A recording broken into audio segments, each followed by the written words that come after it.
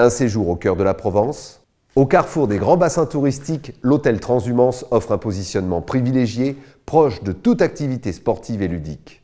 Profitez d'appartements spacieux et climatisés, avec cuisine équipée, ouverts sur une terrasse privative, d'un jardin et d'une piscine pour vos moments de détente.